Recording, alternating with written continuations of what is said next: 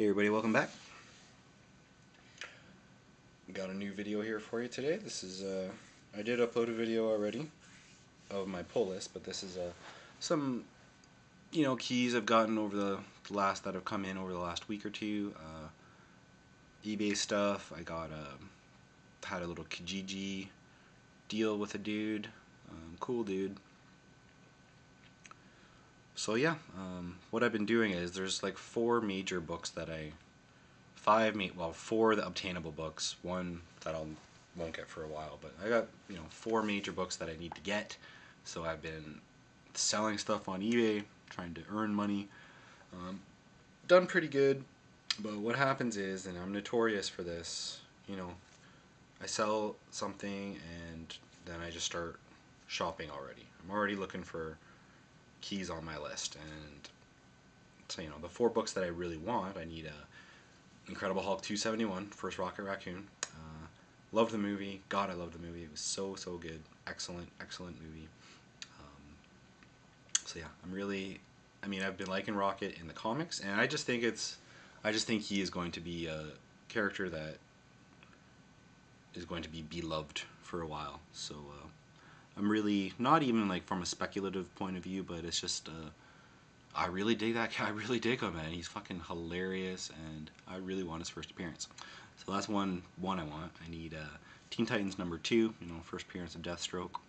That's probably at the bottom of my list, but I still want it. Um, I need a Batman 251 in like fine plus condition. Um, yeah, uh, really, really, you know, everybody wants that book. I really want that book. And finally, I want I need an Amazing Spider-Man 121, Death of Gwen Stacy. That's like the book. And then there's Iron Man 55 First Thanos, but you know, um, it'll be a while before I can get something like that. And even the the Amazing Spider-Man 121.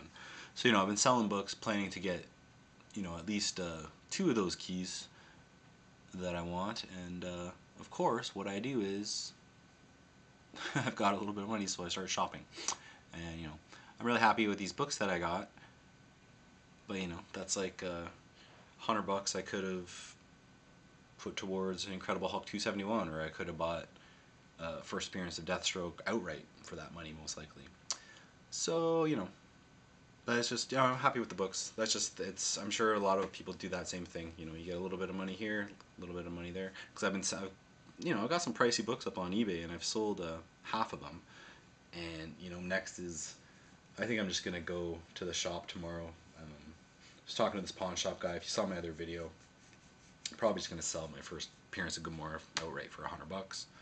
Um, yeah, I'm probably gonna do that. Anyway, so let's just get to the books. Uh, here we got the Web of Spider-Man number 118, uh, first appearance of the Scarlet Spider in, you know, it's not the first appearance of the guy who you know, Kane, I forget his last name, or Kane Parker maybe, I don't know what the fuck his name is, but this is the first time he's in the Scarlet Spider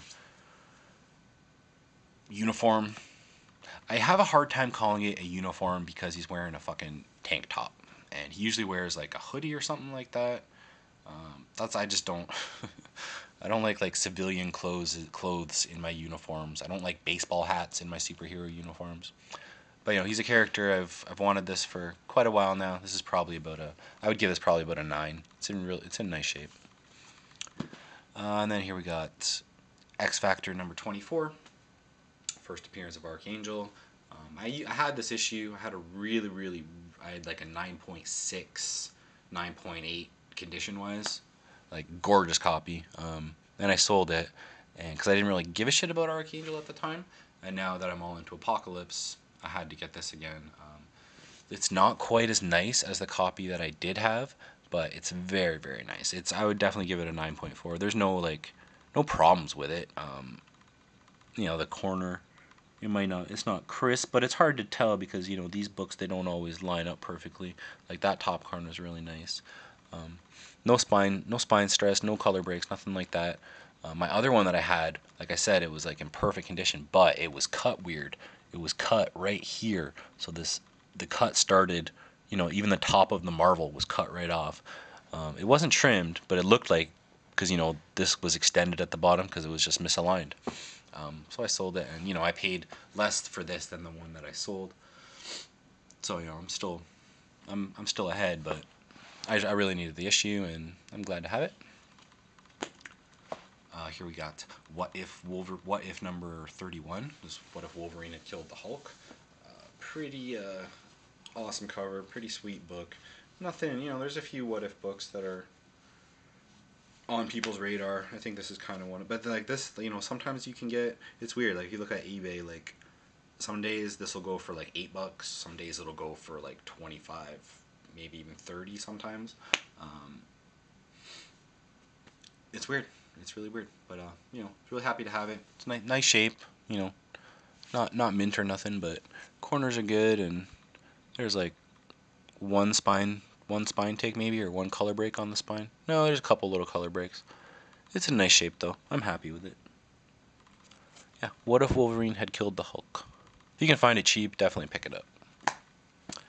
Uh, here we got JSA Classified number one. Uh, it's Adam Hughes cover. Um, yeah, I just picked it up. It was great. Nice cover. People like the Adam Hughes stuff. Uh, it's the Adam Hughes Wonder Woman that's pretty uh, sought after at the moment, but uh, you know this could take off too. I didn't buy it for any speculative purposes. I just like the uh, like the cover a lot. Moving on, sexy cover. Like I don't these these got to be painted, right? They must be painted. Anyway, here we got uh, Amazing Spider-Man number 430. Yeah, I I did jump on I don't even I don't even want to call it a bandwagon, but because uh, I still think I still feel like it's a little bit unknown. I don't think everybody's it's not on everyone's radar.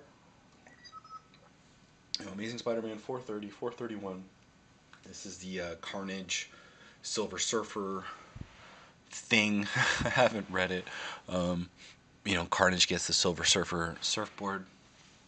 Uh, they're both in really nice shape. Um, you know, very happy to have them. Here, let you look at both of them. So yeah, definitely if you if you watch these videos, um, everyone who's got these will tell you to keep an eye out for them. They do go for quite a bit on eBay. Uh, try your best to find them in the wild, or you know, work out a Craigslist deal somehow or something like that. Because I don't see them. I don't know. Who knows if they will go up or anything like that, but. Uh, my Spider-Man is lacking. And if I had to pick my favorite character over all the years, like now it's probably kind of Batman, but I think it might be Spider-Man, man. Spider-Man is what got me into comics.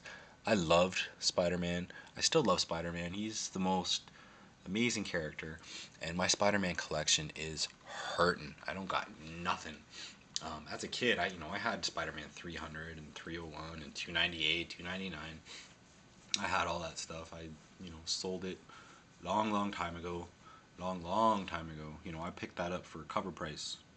I bought that off the rack for Spider-Man 300. So I really don't have a lot of Spider. And the only Spider-Man I do have is really more modern ones. Like I think the oldest I've got is uh, like the first Carnage. So yeah, my Spider-Man is lacking. Uh, and this is just uh, What If number 108. What if the uh, starring the Avengers. You know, this is just kind of the extra part to this uh, Spider-Man Carnage story. Um, what's his name? Mercanaut told me to pick this up, so I did. he didn't tell me personally, but he told me in my video. So yeah. That. And here we got Batman uh, 321. Um, I forget the name of the artist of this cover, but oh, I hate myself for not remembering the artist. Is, you know, Joker's birthday issue. I just picked it up because it's a sweet cover. Um, Joker covers from this era are pretty uh, pretty hot right now, and it was a very reasonable price, so picked it up. And then I got a, got another copy of All Star Comics Presents uh, number 58, first appearance of Power Girl. It's in nice shape. Did not pay very much for it. Um, I hold on, I'm gonna show one other book.